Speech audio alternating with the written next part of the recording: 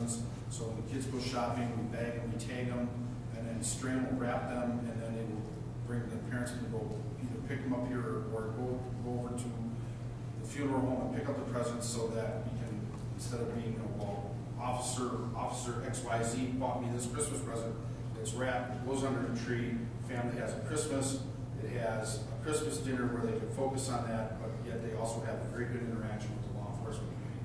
So there's a lot of really neat things happening for the first shot of the cop program this year that, that we did, we jumped into it kind of late, so, um, it's been, a- it's been a real fun project for me, and I know the mayor's been having fun. So we'll, we're still kind of winging it, I'll have bodies, volunteers, um, numbers of, numbers of kids that we've got the list pared down to, I should have it all sorted by Thursday morning. Is it thirty-one Hainesville families? No, it's thirty-one residents combined between Grayslake. Is there, it- just off the top of my head, it sounds like you've done a great job. But uh, can we get maybe one of the school bus companies locally to just provide a bus stop? We already discussed that, but the, the real thing about shopping the cop is where you get to throw the kid in the squad car. The ideal thing is you want the squad, yeah. You want the squad. I suggested that early on, put all the kids into a bus and do a police escort to Target, and, uh, that's all. It's not gonna shop. Maybe we can get one from Joliet, the prison bus? Yeah. But, uh, so that's how, that's how we're gonna have it run, um, so far, so it's still, it- the project came together real fast, real quick, so. Well, Kevin, I just want to commend you, you've done a good job, you put a lot of effort, because we did start late on this, so. I have to, I have to applaud the, the business community of Hainesville, as hard as times are, a lot, of a lot of the different businesses, yeah, you know, without even blinking an eye, we just sat down, and wrote the agenda, so I can't complain, it's been a very positive experience.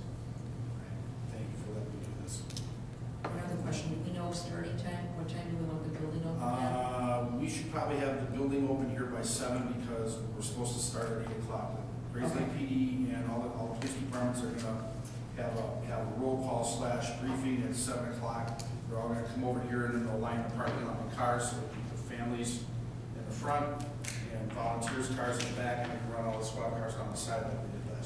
Okay, all right, terrific, thank you. Okay, wetlands and open spaces, trustee Duberstein. Yes, I um, had an article in the newsletter asking people for suggestions or comments about um, projects that we could consider for the new year. And I did get, um, I think about five different families contacted me with either questions or suggestions.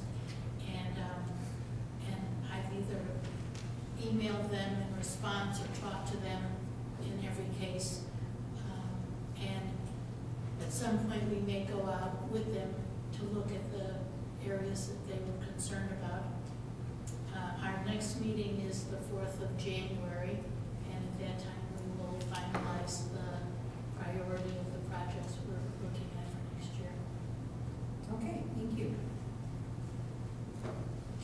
Relations, trustee Darrenowski. Um, right now, I am working on the budget process for, and looking at a couple of different items that I wanna try to get into the budget, considering I spent very little of my budget last year, I believe that should carry forward to me. Um, and, uh, just a quick update on the website, we had, um, basically, we were down a little bit on hits and traffic from last month. We also are still, though, averaging about forty-five percent of people are still new to the website. So of the thousand plus hits we're getting, we're still getting forty-five percent of those are from new visitors. Um, we just, for fun, I had some interesting little, uh, new countries that popped up on our list. Um, Really? Romania, um, Hungary, El Salvador, and also we had China and France, which were on there before. Okay, let's move on to business. Uh, Number one is pretty easy, I think, it's the SA, SSA tax levy, which basically, we're leaving the same as last year. A reminder on that, we decided to keep it in existence in case we ever decided to go back to it, but we're, so it's on, it's on the books, but we're uh, levying zero dollars for it. Do we have a motion for approval? So moved. Second. Discussion? Roll call?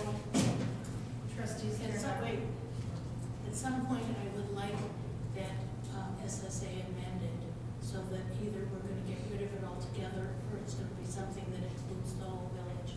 I'm really reluctant to have an SSA for just the residents of Cranberry Lake when, um, when everybody is benefiting um, from the things that are being done.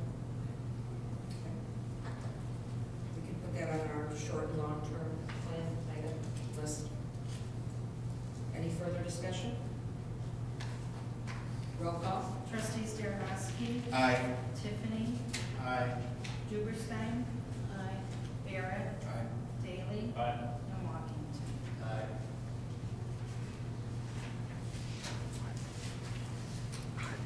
Okay, business item two is the tax levy ordinance for the fiscal year beginning May first, twenty ten, ending April thirtieth, twenty eleven. We recently had a special meeting on this. Do we have a motion for approval? So moved. Second. Discussion? Roll call? Trustees Dernoski, Aye. Tiffany, Aye. Duberstein, Aye. Barrett, Aye. Daly, Aye. and Walkington. Aye. Um, I'd like to back up under the omnibus was the regular board meeting ordinance for the, setting the dates. Uh-huh. I want to give that ordinance number out as ten twelve one thirty-eight. And then this ordinance is ten twelve one thirty-nine.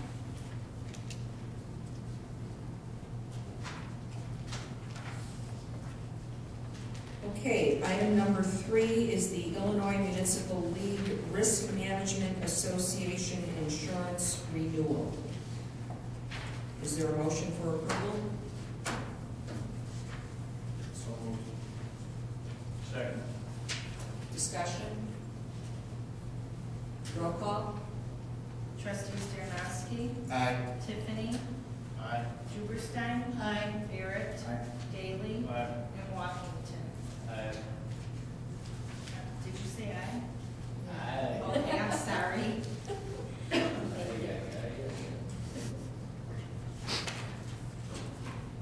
Item number four is an ordinance establishing municipal potable water system cross-connection control regulations and repealing section thirteen oh eight of the village code. That's a mouthful. This is the glamorous part of the job. Do we have a motion for approval? So moved. And Georgie Georgian second. Any discussion? Yes. Can somebody put this in English for me, please? Greg, you want to put this in English? Uh, Basically, the, for every connection to the village water system, there has to be a backflow preventer. And so There's several types of backflow preventers, and this just requires that the uh, RPZ unit, which is basically the top of the line. So every house that is connected, every Uh, business? Businesses. Businesses, okay. That's what I need. Okay. No further discussion, roll call? Trustees Dernoski, Aye. Tiffany, Aye. Duberstein, Aye. Barrett, Aye. Daly, Aye. and Walkington. Aye.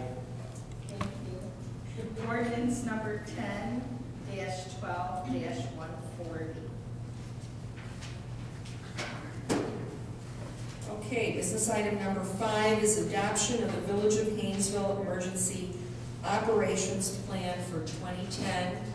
Um, You did get a copy in your packets. Uh, There's an additional copy or revised copy that was passed out this evening. It reflects very minor changes such as uh, corrections. Uh, It still stated Heights Lumber, it now says Boysen, excuse me, it now says Russo Power Equipment. Um, was misspelled, um, so it's pretty minor changes. Uh, But the plan in itself is still the same. So if you had a chance to review it, uh, the fire departments have had a chance to review it, the Grayslake Police Department has sat down and reviewed it. Um, uh, Jim Rock, our attorney, reviewed it, and the only additional thing that will be provided, and you'll get a copy of when they sign off on it, is there'll be, uh, when we adopt this tonight, if we adopt it, of course, then Mike Beckel will forward it to uh, Lake County for approval and also to the state. And then the different agencies involved will actually sign off on a sign-off sheet. So the school superintendent, the fire departments, and so on and so forth. So then you'll receive a copy of that sign-off page. That being said, do we have a motion for approval? Second. Any discussion? Roll call. Trustees Dernoski, Aye. Tiffany, Aye. Duberstein. Aye. Barrett. Aye. Daly. Aye. And Walkington. Aye.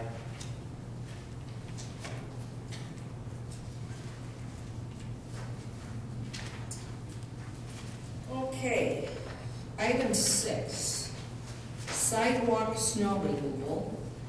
And we're gonna also explore the fire hydrant issue in here as well.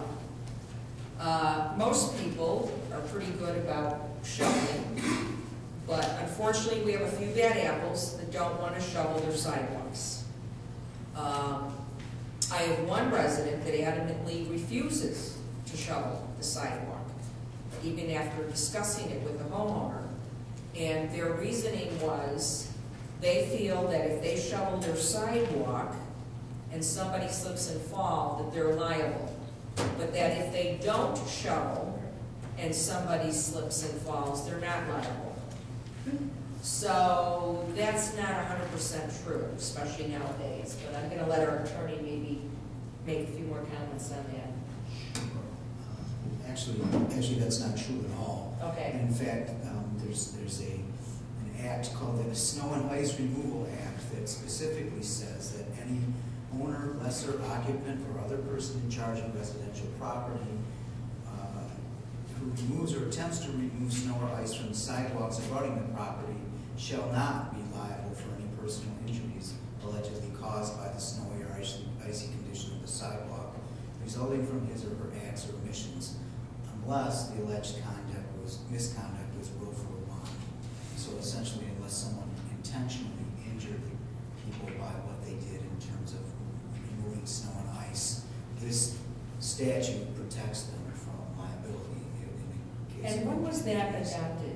Uh, do you know, Uh, I don't know that offhand. Okay. Um, It's been in place for a while. Well, one of the things we want to do is we're going to do an article that, I'm going to give a copy, obviously, to that homeowner, but we're also going to do an article on that fact, because I hope that puts that to rest, so they can't use that excuse.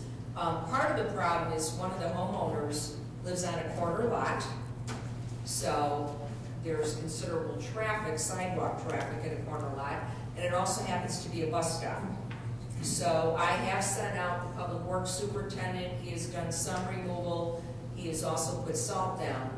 But we're not going to have public works being responsible for clearing snow on sidewalks or even the bus stops. So, um, also, uh, the end of last winter or early spring, trustee Tiffany had brought me a copy of a code or ordinance that he found in the, uh, village of Wheeling. And, uh, I had forwarded that to our attorneys. And, um, we also have one that our attorney provided for the packets, which is from Antioch. Um, the only thing that concerned us about the one from Wheeling is they actually make it a misdemeanor which is a crime, that's a criminal charge. I don't know if we really want a criminal charge for not shoveling. But, um, we do have to, to keep in mind, we, whatever we decide to do is enforcement. Enforcement becomes an issue. So I'm gonna open it to the floor, to the trustees, and, and get your thoughts and ideas and how you feel about this.